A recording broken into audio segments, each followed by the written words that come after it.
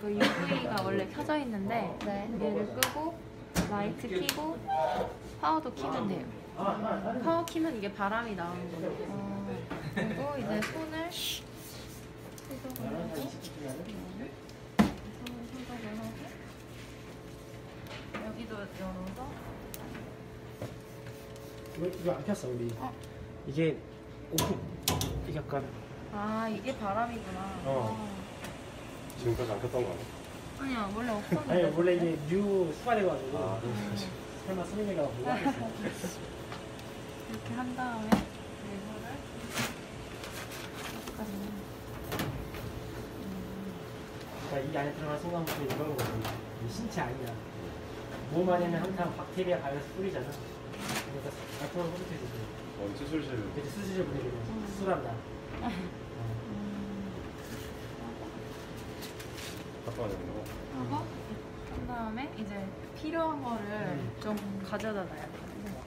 이렇게 이제 설명해 주세요 어, 그 트립시는 그 미디어 아 이게 트립신 아 이게 트립신이고 네. 이게 미디아 인데 얘도 넣을 때 여기 소독을 좀 해서 음, 넣어줘야 돼. 음.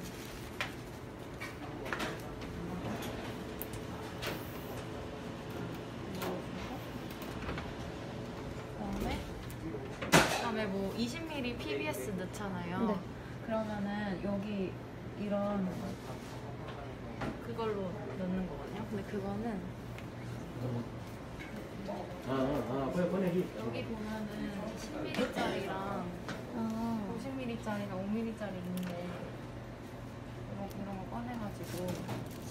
잔뜩 잔뜩 네 잔뜩 어, 갔다 왔다 한번 그래도 25, 50 이런 거 잔뜩 25로 있고 50도 있고. 음. 그러니까 그 다음에 저 튜브 튜브도 튜브도 10ml짜리랑 50ml짜리 있어서 음, 그런 거 이렇게 다운을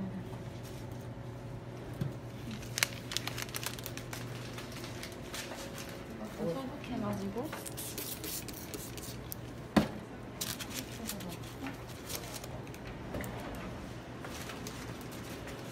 PBS 넣어놨어?